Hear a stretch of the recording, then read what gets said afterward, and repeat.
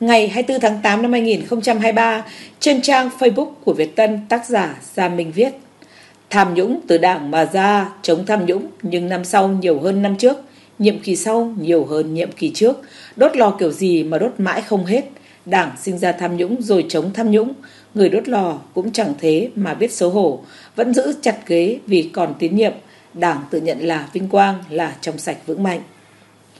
Như vậy ta thấy giọng điệu xuyên tạc này không có gì mới nhưng ẩn chứa nhiều ý đồ thâm độc vì trong giai đoạn hiện nay, cấp ủy đảng các cấp đã và đang triển khai thực hiện kế hoạch của Bộ Chính trị về xây dựng quy hoạch Ban chấp hành Trung ương Đảng, Bộ Chính trị, Ban Bí thư khóa 14 để chuẩn bị Đại hội Đảng các cấp nhiệm kỳ 2025-2030 tiến tới Đại hội toàn quốc lần thứ 14 của Đảng. Để làm rõ giọng điệu của Việt Tân, chúng ta cùng trao đổi về vấn đề này. Tham nhũng là một phạm trù lịch sử, nó xuất hiện ngay khi có sự phân chia giai cấp và sự hình thành của nhà nước. Tham nhũng nó tồn tại và phát triển ở tất cả các quốc gia trên thế giới. Nhìn lại lịch sử Việt Nam, ta thấy cha ông ta tùy theo từng giai đoạn lịch sử mà có các hình thức biện pháp phòng chống tham nhũng phù hợp. Thời Lý, triều đình đã có những quy định về việc xử phạt quản lại tham ô tham nhũng. Vua Lý Thái Tông năm 1042 đã ban hành bộ luật thành văn đầu tiên hình thư năm 1042. Đến triều đại Lê Sơ, vua Lê Thánh Tông năm 1483 đã ban hành quốc triều hình luật, luật Hồng Đức Đến thời vua Gia Long đã ban hành Hoàng Việt luật lệ luật Gia Long năm 1815. Đến thời vua Minh Mạng năm 1831 ban hành luật Hồi Ti. Như vậy ta thấy tham nhũng là khuyết tật bẩm sinh của quyền lực. Nó gây nguy hại cho sự phát triển của các quốc gia và là một trong các nguyên nhân gây ra nạn đói nghèo cho người dân.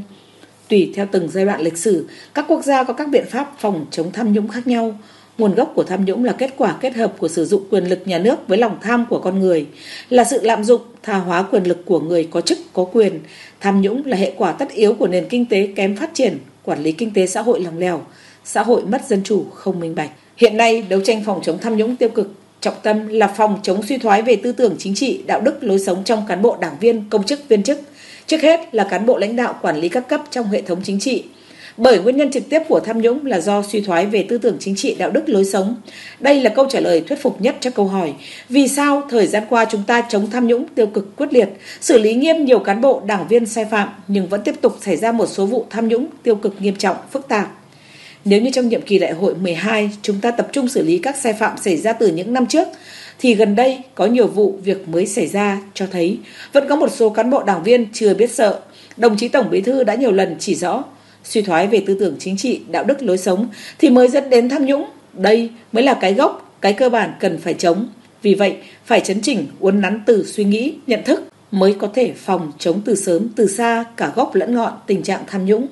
Thời gian gần đây, Bộ Chính trị quyết định bổ sung mở rộng chức năng nhiệm vụ quyền hạn của Ban chỉ đạo Trung ương về phòng chống tham nhũng để chỉ đạo cả công tác phòng chống tiêu cực, từ đây, cuộc đấu tranh phòng chống tham nhũng tiêu cực bước sang giai đoạn mới, đi vào chiều sâu, gắn kết chặt chẽ hơn nữa xây và chống giữa phòng chống tham nhũng với công tác xây dựng chỉnh đốn đảng.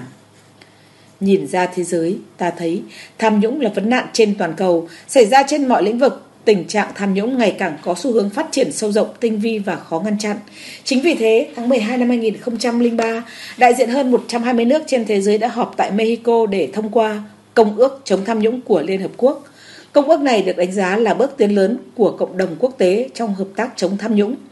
Tính đến năm 2020, Công ước đã có 187 thành viên, trong đó có 181 trên 193 quốc gia là thành viên của Liên Hợp Quốc. Việt Nam chính thức là thành viên của Công ước kể từ ngày 19 tháng 8 năm 2009. Tổ chức Minh bạch Quốc tế đã công bố chỉ số nhận thức tham nhũng Corruption Reception Index CPI, chỉ số được dùng để đánh giá mức độ tham nhũng của các nước hàng năm. Theo số liệu công bố ngày 18 tháng 10 năm 2005 của CPI, có tới 2 phần 3 trong số 159 nước thăm dò có tình trạng tham nhũng nghiêm trọng. Báo cáo chỉ số cảm nhận tham nhũng CPI năm 2022 do Tổ chức Minh bạch Quốc tế